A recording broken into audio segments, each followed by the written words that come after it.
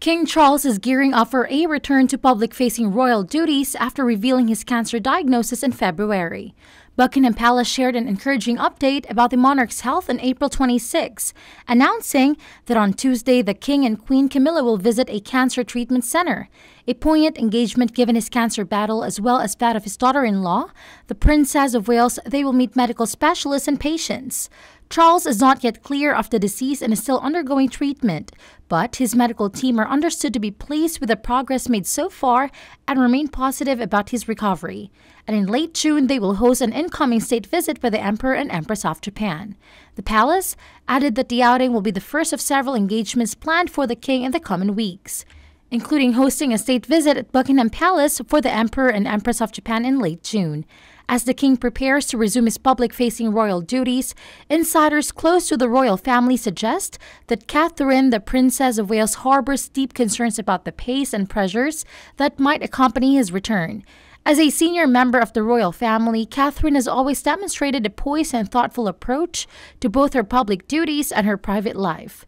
Sources close to the family reveal that while she deeply respects King Charles' commitment to his role, she is also acutely aware of the potential health risk involved with a swift return to a full schedule of engagements. Catherine's concerns are not just about the physical health of the king, but also about the broader implications for the royal family's future.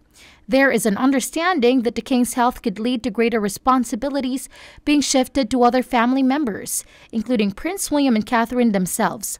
The shift could significantly alter their current roles and increase their workload, impacting their family life and their own set of royal duties. As King Charles gears up for his return, the coming months will be critical in setting the tone for how the monarchy intends to address the health challenges of its current head. For Catherine, this will be a period of adjustment and possibly increased responsibility but also an opportunity to reinforce the family's unity and resilience in the face of personal challenges. Medical experts suggest that balancing workload and stress is crucial for cancer patients, and the Royal Medical Team is likely working closely with the King to map out a suitable schedule. Adjustments might include shorter public appearances, longer rest periods, or even virtual engagements to reduce the strain of travel. After beginning cancer treatment, King Charles postponed public duties but continued to work behind the scenes and undertake meetings, including small audiences at Buckingham Palace.